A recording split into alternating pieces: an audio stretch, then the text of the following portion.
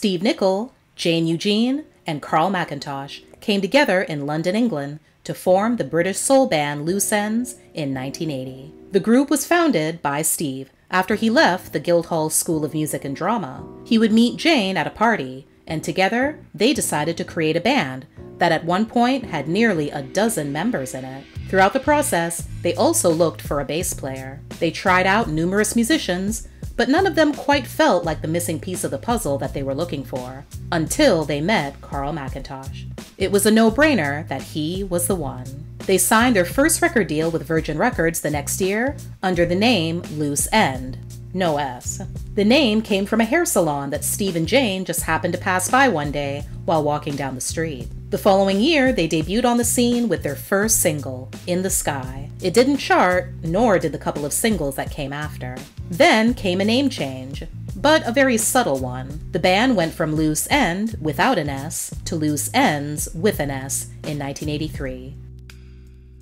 The reason for the change was a typical one. Record producer Pete Waterman had a production company called Loose End Productions. Some may also recognize his name as part of the English songwriting and record producing trio Stock, Aitken, and Waterman. Naturally, Pete didn't like the fact that a music group was calling themselves the same name as his company, so he tried to bring the long arm of the law down on them. The addition of an extra letter ended up solving the problem quite nicely. Loose Ends would be off and running and finally get some love on the charts with the release of their next several singles.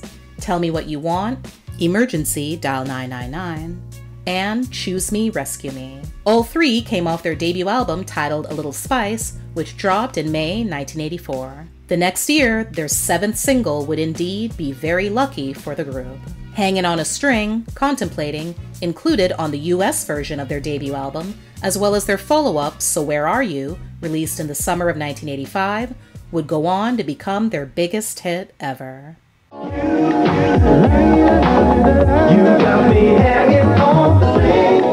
It reached number 13 on the UK chart and captured the number 1 spot on the US Billboard R&B chart. This tremendous accomplishment made Loose Ends the first black British band ever to top that chart. 80s music lovers will hear the obvious similarity in the bass line of Hanging on a String with the 1984 song No One's Gonna Love You by American funk group The SOS Band. Even though there wasn't a legal case for copyright infringement, the use of that Roland 808 machine caused major friction between Loose Ends and Jimmy Jam and Terry Lewis, the mega successful songwriting and record production duo who wrote the SOS Band song and produced the album it's featured on. Carl insists that there wasn't any malice intended when the group chose to use the sound that the duo had popularized. Ends were, in fact, huge fans of Jimmy and Terry's work. Nevertheless, when Ends later reached out to them wanting to work together, they, not surprisingly, said no.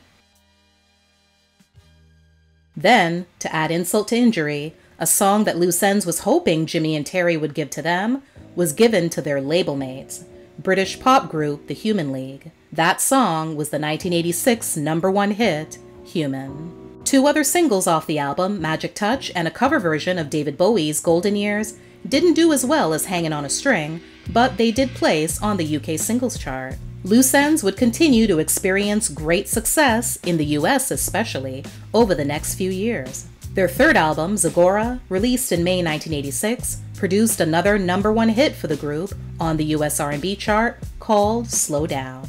Two years after that, the track Watching You off their fourth album titled The Real Chuckeeboo just missed the top spot peaking at number 2 again on the US R&B chart. The behind-the-scenes recording experience on this particular album was a little different than on previous projects. At the time, Jane was having some issues with her voice and didn't want to sing. She also claimed that her vocal teacher told her to rest her voice.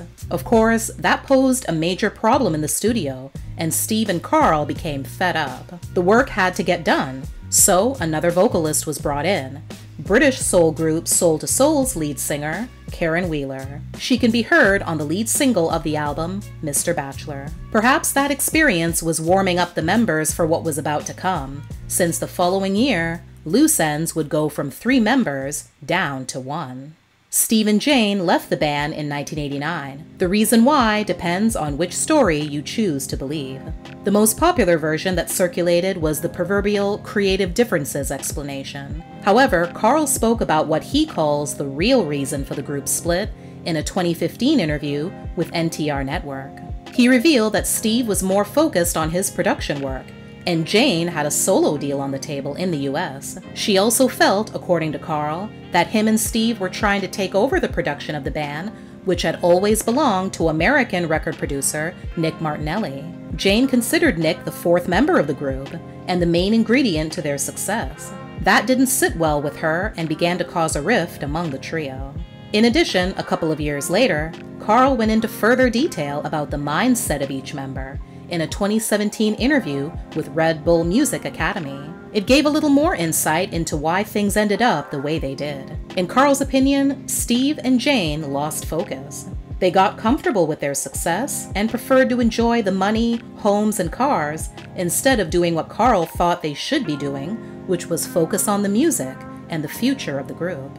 In that same interview, Carl also touched on the interesting fact that Loose Ends garnered so much more success in the US than their homeland. He touched on how eye opening it was to go from not getting any airplay in England to having a number one hit in America.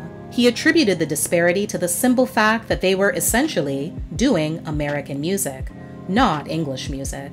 In the early 80s, when the band came together, there really wasn't a UK soul scene. Even though radio was king at that time, you'd be hard pressed to hear any black UK artists being played. There was a very limited amount of time slots, and when a song did get played, it was always an American artist. Loose Ends ended up taking elements from various genres such as reggae, soul, R&B, and dance to carve out a new niche for themselves. In 2019, Steve did an interview with Groovadelica podcast where he touched on their very hectic and tiresome work schedule. For many years on end, the band spent every waking moment either in the studio performing, or on tour. They even released albums back to back. It no doubt took its toll mentally and physically. Steve and Jane were ultimately replaced by singer songwriters Linda Carriere and Sunay Suleyman. Both new members made their debut on Loose End's fifth album, Look How Long. It would turn out to be the band's final studio album. It featured what would be their last successful single, Don't Be a Fool, a top 20 hit in the UK and a top 10 hit in the US. Carl then went on to write and produce for various other artists, including Karen Wheeler, Five Star, Phyllis Hyman, D'Angelo, and Angie Stone. After their departure from the group, both Steve and Jane, separately, moved on with their solo careers. Jane moved across the pond to Los Angeles and continued performing in the US using the name Loose Ends. She wouldn't be able to do that forever, though. According to Ends' official website, Carl is now the legal owner of the brand name, copyright, and trademark throughout the US, Asia, UK, and Europe. It also states that anyone found using the name illegally would be dealt with legally. In 2021, Carl announced that Loose Ends, with band members Linda Carriere and Christine Levin, were back. They had signed a new record deal and are currently working on a new album. In late 2021, Loose Ends began their Quiet Storm tour and already have confirmed dates scheduled in the new year. Thanks for watching. Please like, share, and comment. Also, don't forget to subscribe and turn on your notifications so you won't miss any future videos. See you next time!